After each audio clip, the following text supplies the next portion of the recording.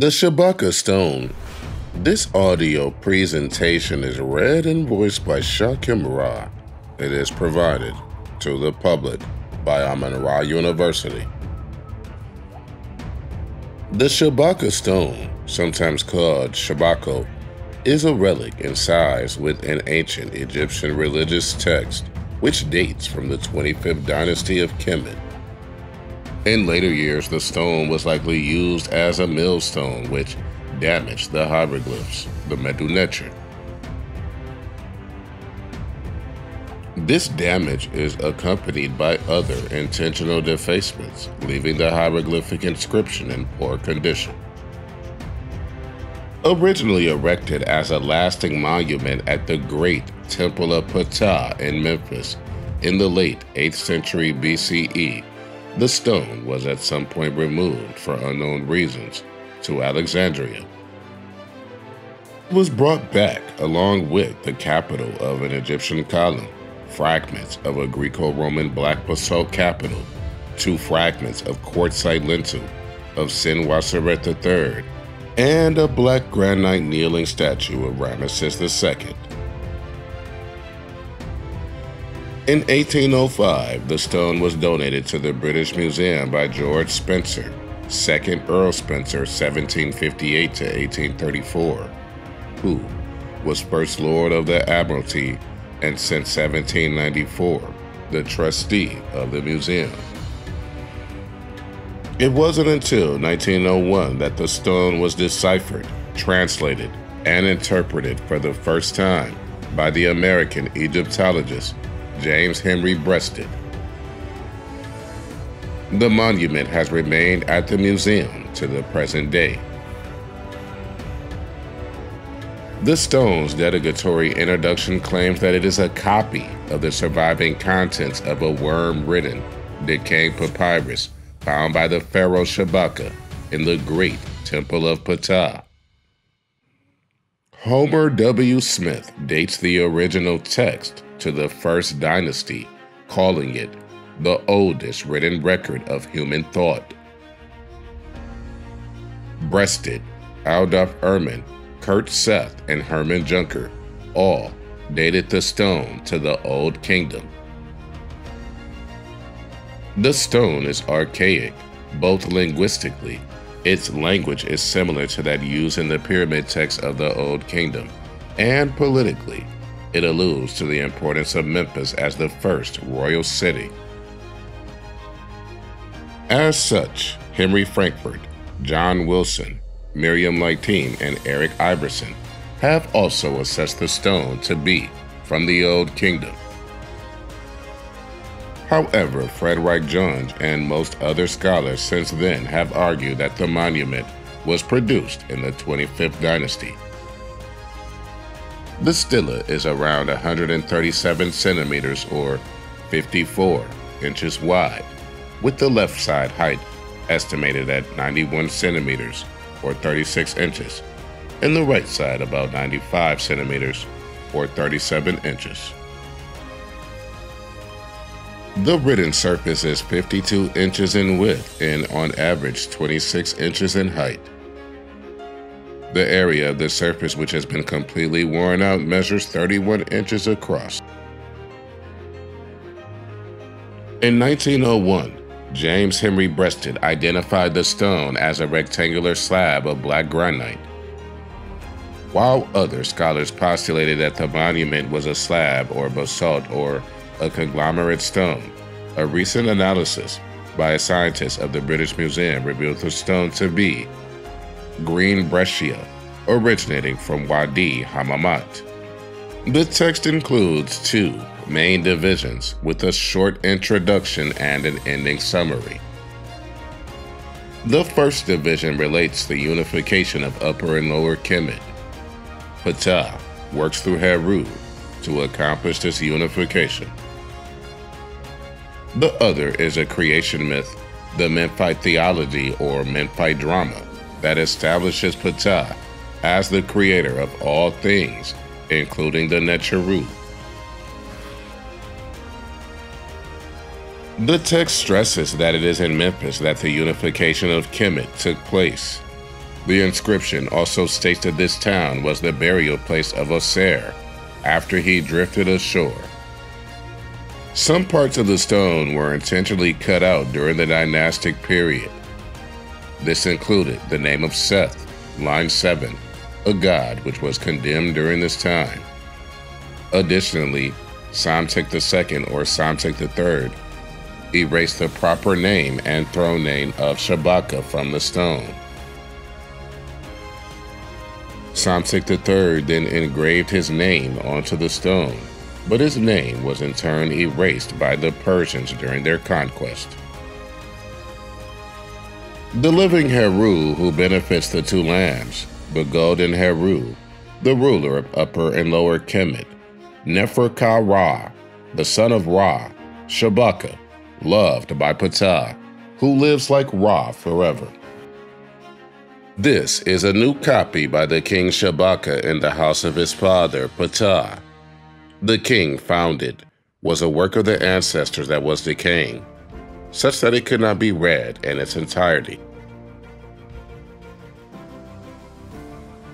The king recopied this work so that it is better than it was before, so that his name would be honored in the house of his father Ptah forever, a work done by the son of Ra, Shabaka, for his father Ptah.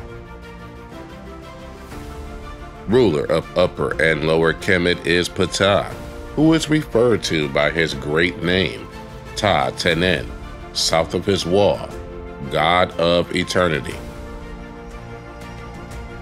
Geb, the ruler of the lesser gods, expressions of God, ordered the nine gods to gather before him he ruled between Heru and Set and entered their fight. He made Set to rule Upper Kemet, up to the areas where he was born, Su. He made Heru ruler of Lower Kemet up to where his father Asar was drowned. Heru ruled over one area and Set ruled over the other. They made peace at Ayan. Geb told Seth to go to the place where he was born, and he told Heru to go to the place where his father drowned. I have separated you both, Geb said.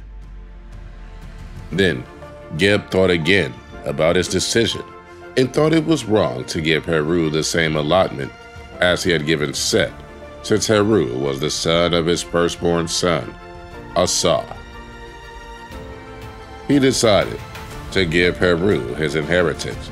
He told the nine gods that he decided to give Heru alone the inheritance, the son of his son. Heru, the jackal of Upper Kemet. Heru then was the uniter of the land, proclaimed in the name of Ptah. Heru and Set were satisfied. They ended their fight and were united in the house of Ptah, wherever they existed. Aset in Nephthys, Asar is buried in the house of Seker. Hurry, for he has drowned in the river. Aset and Nephthys began to look for Asar and say, We come, we take you. They brought him to safety, and he entered the unseen doors to the area of the Lords of Eternity. Heru arose as king of Upper and Lower Kemet in the embrace of his father Asar, and of the deities which stood before him and behind him. Aset spoke to Heru and said, Make peace. Life will be great for you when you make peace. It is he who dries your tears. Ptah is that which brings the lesser deities into being Ptah Naunet, mother of Atum. Ptah is great, the heart and tongue of the nine gods.